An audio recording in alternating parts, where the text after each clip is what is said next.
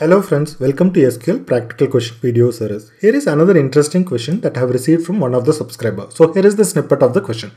So here we have actually a input table which contains a ID, date and the number of visitors. That is date wise the number of visitors. So the expectation is we need to print three subsequent days, three or more than three subsequent days wherever the visitor count exceeds 100. For example, in this example, from 6th Jan to 9th Jan, if you see, the number of visitors are consecutively more than 100.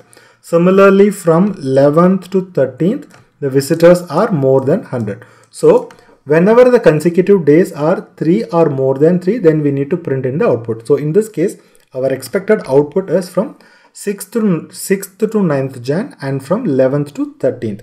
Of course, this can be resolved by n number of different ways and I will show you one of the easiest and simplest approach.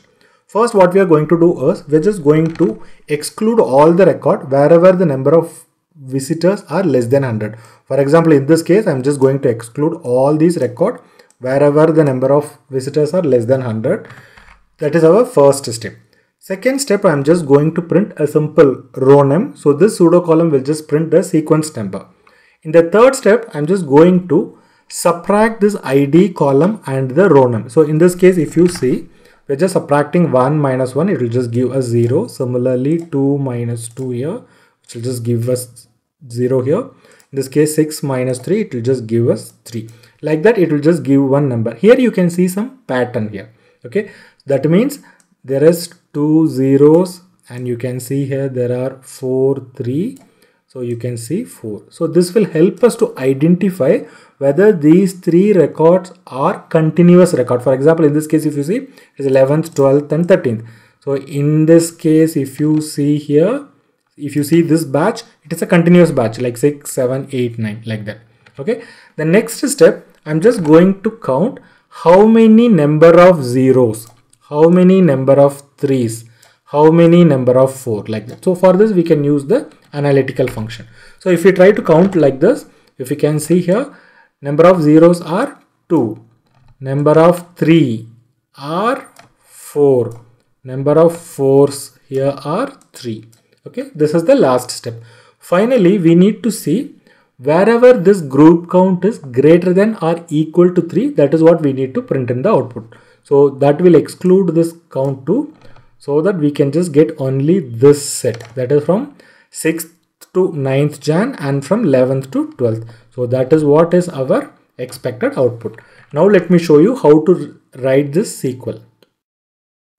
Okay, I'm just dropping this table and I'm just creating a table T with ID column, date column and the count to store the number of visitors and I'm just populating all the sample data. Data are populated so let me select from the table select star from T. So what we need is ID column, date column, count column, right? All these three are there. Okay. In the very first step, what I'm just going to do, I'm just going to exclude all the count where count greater than or equal to 100. So by this way, we can actually exclude all these record wherever the count is less than 100. The next step, we're just going to print the ROWNUM sequence. So as you can see here, we are just printing a simple sequence as part of our output.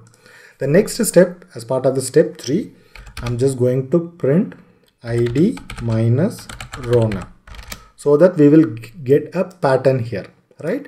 Now what we need is, we just need to get this group count. So let me just give alias as like r, right? Now the next step we need to find the group count. For that I'm just using the analytical function over partition by id minus ROWNUM.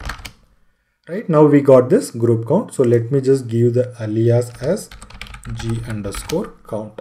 Right. Let me make this as a with clause with dataset as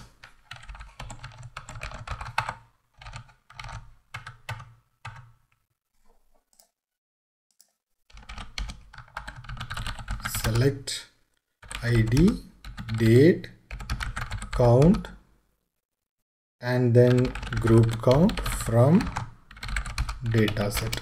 Here we just need to filter only the records where group count is greater than or equal to 3 and we can order it by the first column that is id column. So we got the expected output right? So here is the query for your reference so just to recap our learning here. So here is our id column. Here is our date column. Here is our count. So here is our ROWNUM. Here is our id minus ROWNUM. And here is the group count which we computed. And finally we are just filtering wherever the group count is greater than 0 so that we will get the expected output right? If you have learned something new, please like this video. If you want any questions to be answered, you can post it in the comment section or you can drop to this mail ID. But before that, you can check whether a similar question has already been posted as part of interview question series or as part of subscriber question series. If your question is not already answered, please write back to me. I'll be happy to record and post as a new video. Please subscribe and stay tuned for new future video, interview question, SQL practical question and concept videos. And thanks a lot for watching this video.